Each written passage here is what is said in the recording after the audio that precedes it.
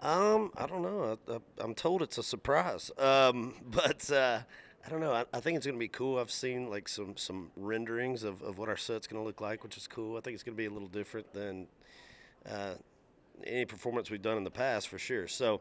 Uh, looking forward to it. Still haven't seen it. I haven't rehearsed yet, so uh, I may have to get back to you on that part of it.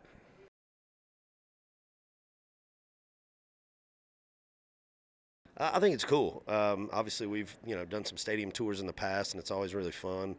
Um, I mean, there's nothing quite like standing on stage, looking out at a stadium full of people. So, I'm excited. I think it's great for uh, for the performance, but also for you know for our genre, country music, and and uh, for the for the academy, and, and kind of moving it over to, to Prime and um, Prime Video, and, and I think it's just kind of a kind of you know put some a, a new a new breath into the whole thing, you know. So uh, I'm excited, ex- excited to be here and, and, perform and be up for a few awards. So looking forward to it.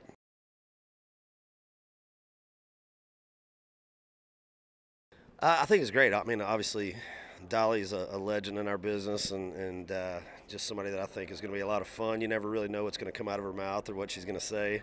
Uh, doesn't take herself too seriously, which is cool.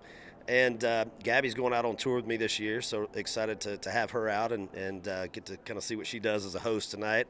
Uh, Jimmy and I have been friends for, for years, and so I think they're going to do great. I mean, it's a kind of a change up from, from previous years, and uh, I think it's going to be fun, so I can't wait.